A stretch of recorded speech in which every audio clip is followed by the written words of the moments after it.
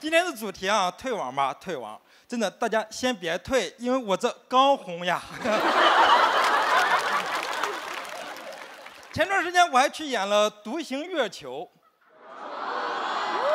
所以我现在也是二十九亿票房先生了。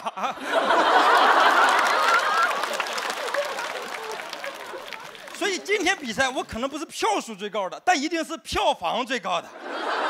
而且我在那个电影里的表现，怎么说呢？就是你一秒都不能错过，因为总共就三秒。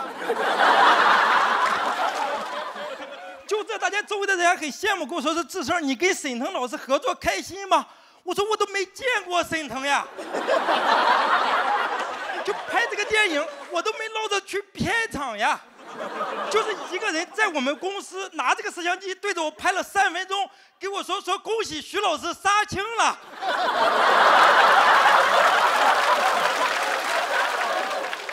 我都懵了，我说你这是拍电影了还是拍短视频了？结果电影一上映，我说这怎么比短视频还短？而且这三秒还上了热搜，徐志胜在独行月球上讲脱口秀。词条都快比我的台词长了，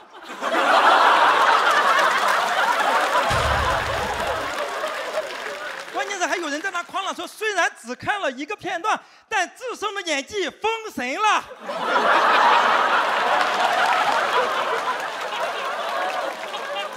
我都懵了，怎么都封神了？我还没来得及演呢呀！现在网上真是什么都敢夸。我现在只要在网上发一些我穿好看衣服的照片，下边的评论全都是智胜大帅哥，太帅了，智胜 绝美。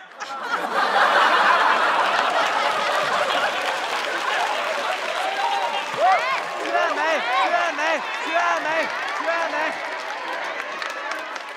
的就是你们都把我夸恍惚了，真的就有时候我都忍不住去问我经纪人，我说姐，我最近是不是变得有点太好看了？